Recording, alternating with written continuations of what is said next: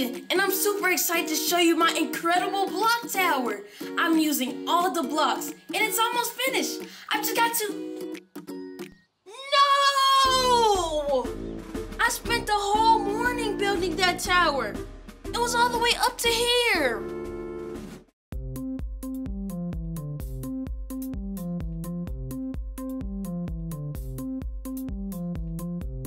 My tower was perfect when I left to go eat lunch. Something knocked over my tower. Something or someone. Aha! This is my little brother's favorite hat. He came up here after lunch. He knocked over my tower.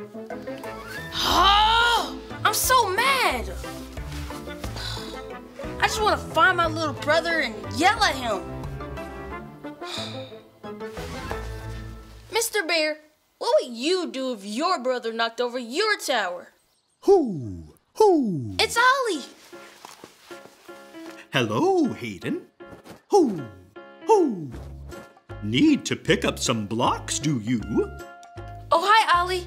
I shouldn't have to pick up these blocks because my little brother knocked over my tower. I'm so mad. That's very frustrating. It's true.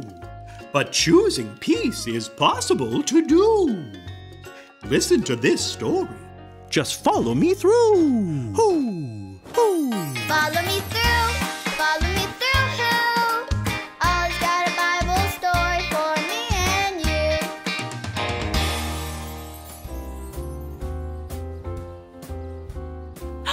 Well, hello there. I'm Aisha Welcome to my cupcake food truck.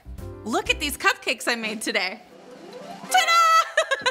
I call them my teddy bear cupcakes. I just love teddy bears. They're so cuddly and peaceful. I have a story today about peace. If you're ready for the story, on the count of three, yell, Tell me a story. One, two, three. Tell me a story.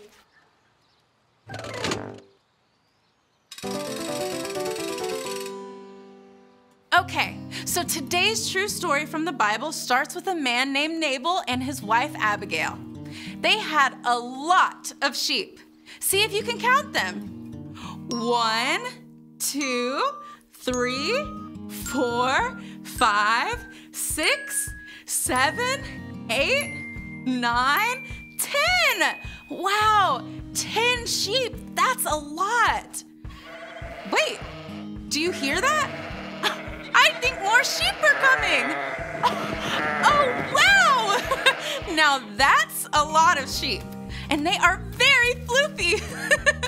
I think it's time for the sheep to have a haircut. So, Nabal had some of his helpers start giving sheep haircuts. Now, tell me if you see a guy named David and his army. Do you see them anywhere? You see them? Oh, there they are! David and his army worked very hard, and they expected to get paid for the job that they did. So they asked Nabal for some food as payment. But Nabal told David no. Nabal said he wasn't going to give David and his army any food. How do you think David felt when he heard that Nabal wasn't going to give him any food? Yes, David was angry. Can you show me your angry face? Good job!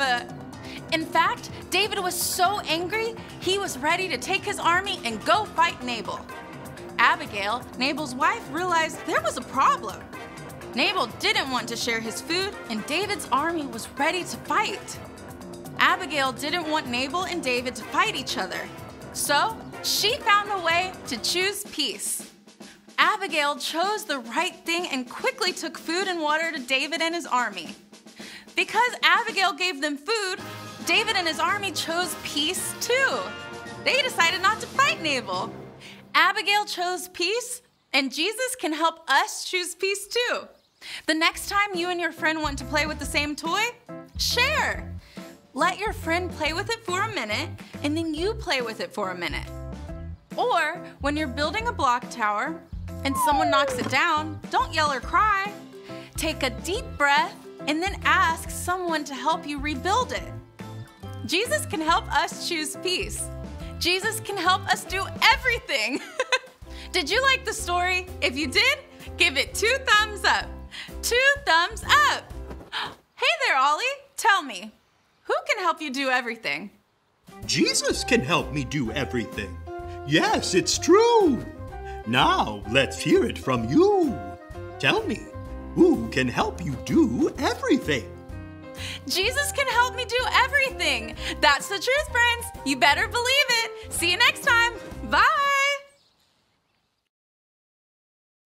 So there's your story, and it's all true. Abigail chose peace, and Jesus can help us choose peace too. Thanks, Ollie. Goodbye to you.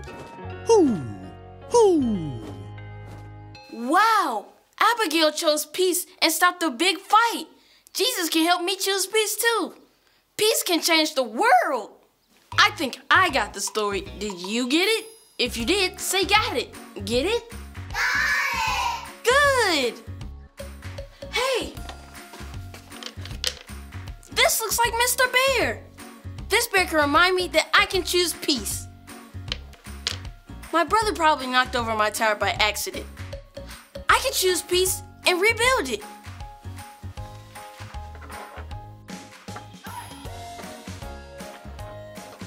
It's fun building towers. See you next time.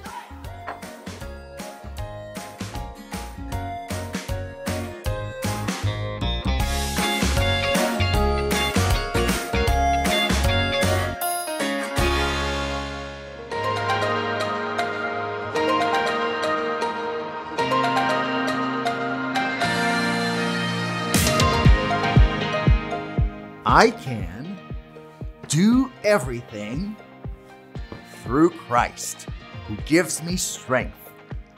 Philippians 4:13.